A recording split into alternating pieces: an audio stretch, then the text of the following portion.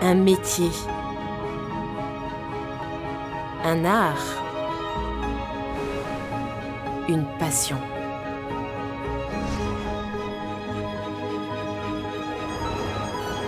Daniel Steffel, créateur d'émotions.